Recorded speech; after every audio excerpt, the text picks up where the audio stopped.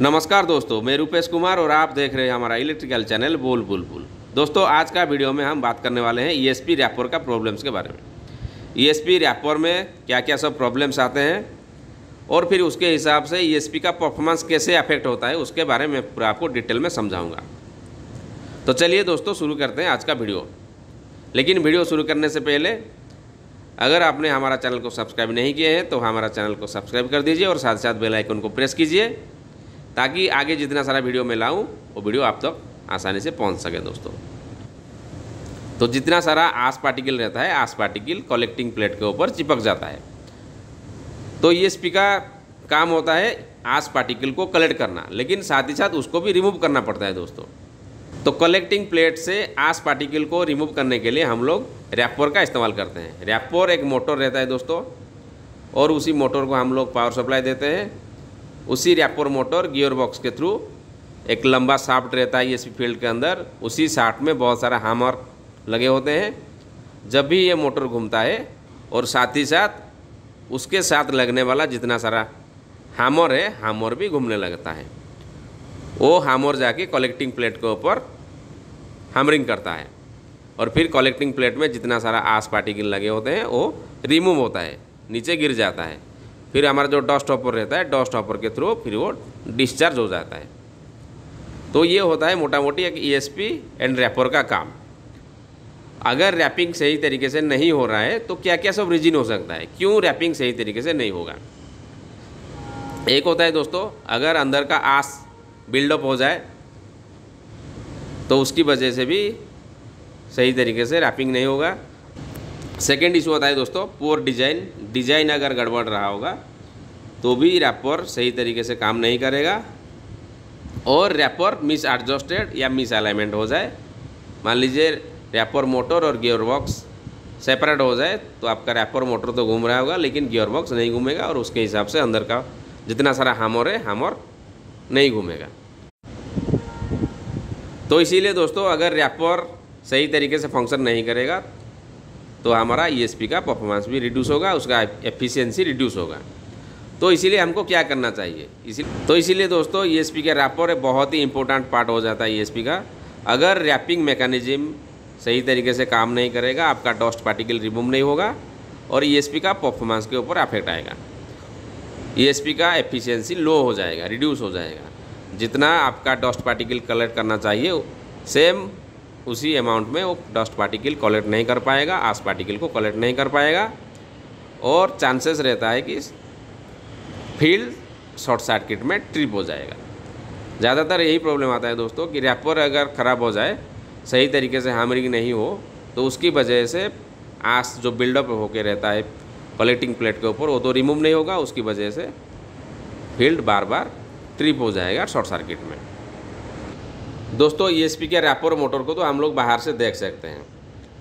Wrapper motor को देख के उस रैपर मोटर चल रहा है कि नहीं, वो भी हम चेक कर सकते हैं, उसका डायरेक्शन सही है कि नहीं, उसको हम चेक कर सकते हैं। लेकिन उसका जो अंदरूनी हिस्सा रहता है, जो ई चैम्बर के अंदर रहता है, उसका जितना सारा हामर रहता है साफ्ट रहता है, उसको हम नहीं देख सकते बाहर से।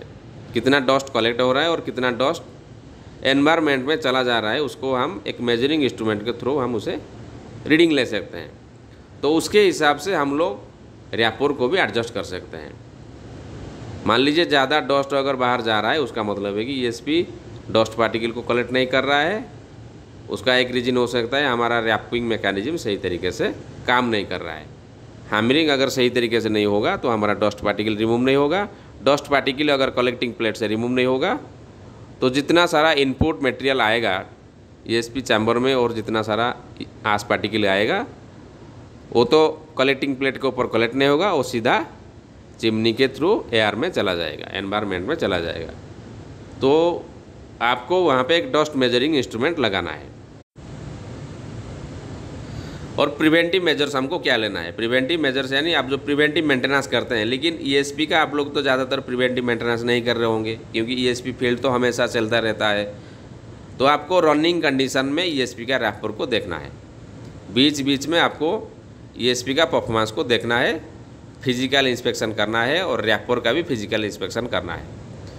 फ़िज़िकल इंस्पेक्शन में आप लोग देख सकते हैं कि रैपर और, उसके साथ जो गियर बॉक्स लगा हुआ है गियर बॉक्स का ऑयल सही है कि नहीं बॉक्स का साफ्ट मूवमेंट कर रहा है कि नहीं ये सब आप फ़िज़िकल देख के पता कर सकते हैं। तो ये हो गया दोस्तों अगर हमारा ई का रैपर सही तरीके से फ़ंक्शन नहीं कर रहा है तो उसको हम कैसे चेक करेंगे उस उसकी वजह से सब क्या क्या प्रॉब्लम्स आते हैं, उसको हम कैसे ठीक करेंगे। और एक प्रॉब्लम आता है दोस्तों टू इंटेंस रैपिंग अगर रैपर ज़्यादा रैपिंग कर रहा है, बहुत ज़्यादा रैपिंग कर रहा है तो उसका रीजन क्या हो सकता है? क्यों ज़्यादा रैपिंग करेगा? नंबर वन हो सकता है पुअर डिज़ाइन उसका डिज़ाइन में कुछ गड़बड़ है। नहीं तो रैपर्स मिस एडजस्टेड सही तरीके से उसका अलाइनमेंट नहीं हुआ है एडजस्ट नहीं हुआ है। तीसरा वाला है दोस्तों इम्प्रॉपर रैपिंग फोर्स तो ये तीन रीजन हो सकता है, तीन कारण हो सकता है, बहुत ज़्यादा रैपिंग होने का। तो बहुत ज़्यादा रैपिंग होगा तो क्या होगा? बहुत ज़्यादा रैपिंग होगा तो हमारा ई e का एफिशिएंसी भी रिड्यूस होगा दोस्तों।